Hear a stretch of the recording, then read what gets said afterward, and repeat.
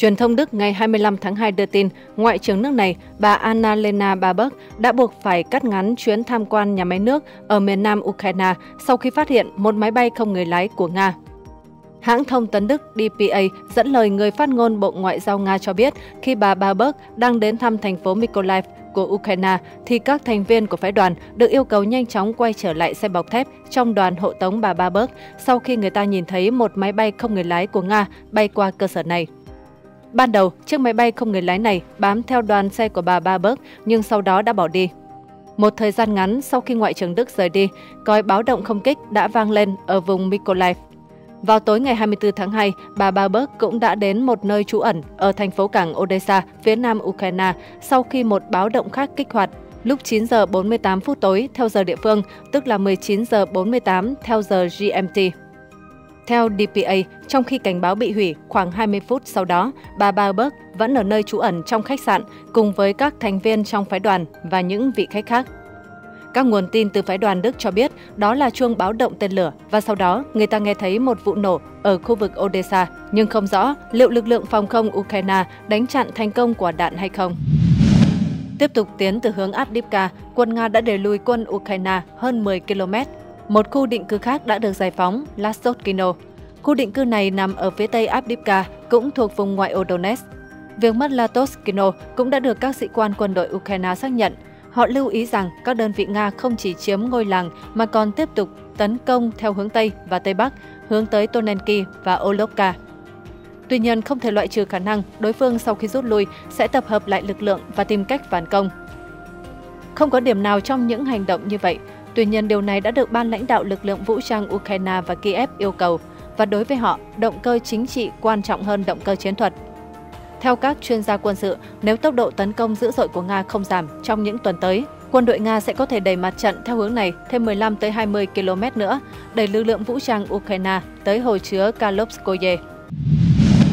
Trên hướng Zaporizhia, tại khu vực xung quanh khu định cư Dabotino, các đơn vị Nga đã đẩy lùi đối phương vượt ra ngoài các vị trí đã mất trước đó của phòng tuyến Surovikin. Kênh Telegram Legitimi của Ukraine mô tả tình huống này như sau – hàng nghìn binh sĩ thiệt mạng và bị thương, hơn 500 đơn vị thiết bị hạng nặng bị mất của lực lượng vũ trang Ukraine trong cuộc phản công mùa hè đã trở nên vô ích. Người Nga đã giành lại các vùng lãnh thổ gần như là không cần giao tranh. Lực lượng vũ trang Ukraine đã rút lui về phía sau tuyến Surovikin trên mỏ đá Rabotino. Các lực lượng quân đội Nga đang cố gắng tiến tới gần Verboye, chiếm giữ một số thành trì trong các đồn điền trong rừng liên kề với khu định cư. Đối phương đang cố gắng ngăn chặn bước tiến của các đơn vị Nga bằng máy bay không người lái và pháo binh. Người Nga đang tấn công Rabotino từ phía nam và phía tây, đồng thời cũng đang cố gắng đột phá phía bắc phòng tuyến Verbovo, Novoprokopova và họ đã đạt được một số thành công. Trung đoàn 71 của quân đội Nga đang tấn công theo nhóm nhỏ bộ binh và trên xe địa hình tốc độ cao, nguồn thông tin Ukraine xác nhận. Và trên hướng Kherson, các đơn vị Nga đang đánh bật những chiến binh Ukraine cuối cùng khỏi Karinki. Trong suốt 24 giờ, quân đội Nga đã tiến hành các cuộc tấn công dọc theo toàn bộ chiến tuyến, từ Liman đến hồ chứa Donetsk. Dưới hỏa lực dày đặc của pháo binh Nga, đối phương đang rút thủy quân lục chiến của lữ đoàn 36.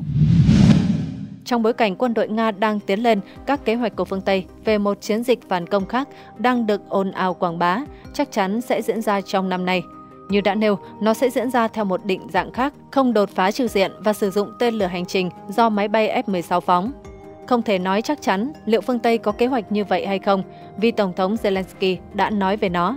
Trong cuộc phỏng vấn mới đây với kênh truyền hình Mỹ Fox News, người đứng đầu Kiev hứa sẽ tiếp tục lịch sử thành công ở Biển Đen. Rõ ràng là với sự trợ giúp của máy bay không người lái của Anh, đồng thời còn dự đoán những bất ngờ khác dành cho người Nga. Chúng tôi sẽ làm điều này, ông Zelensky nói. Rõ ràng là nếu không có sự hỗ trợ của các ông chủ phương Tây thì không thể phản công, vì vậy, trong cuộc phỏng vấn của mình, ông Zelensky đã tiết lộ kế hoạch của Liên minh. Nhưng phương Tây đang cảm thấy khó khăn với sự hỗ trợ vô tận này dành cho Kiev. Tại cuộc họp trực tuyến mới đây với lãnh đạo G7, Pan Zelensky không bỏ lỡ cơ hội một lần nữa khiển trách các chủ khẩu về sự chậm chạp của họ.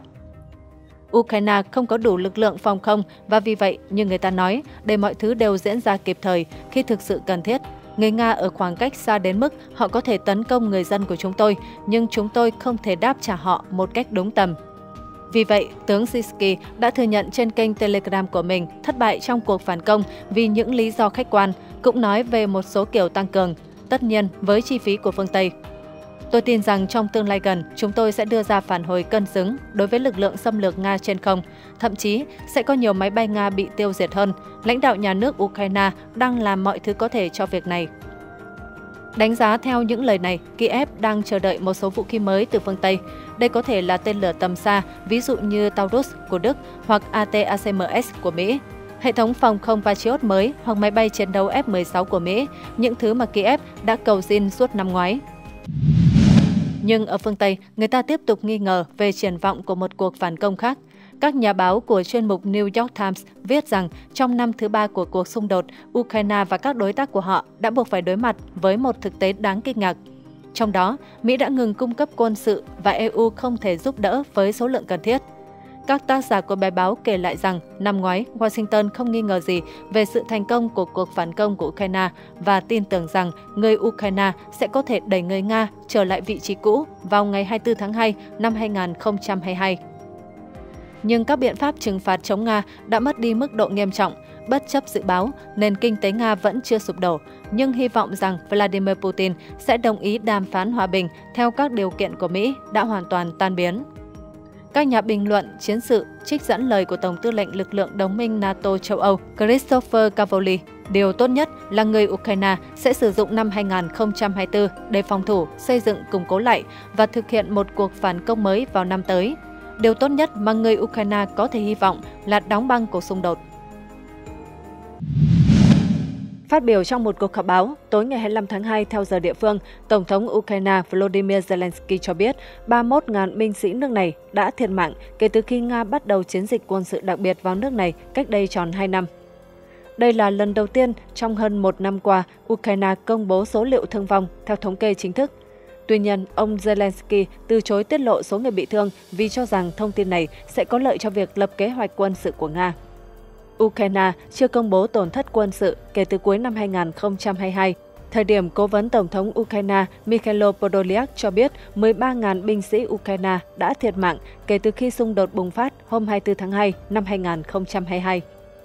Cũng trong cuộc họp báo này, Tổng thống Zelensky thông báo Ukraine đã lên kế hoạch cho một cuộc phản công mới chống lại lực lượng Nga.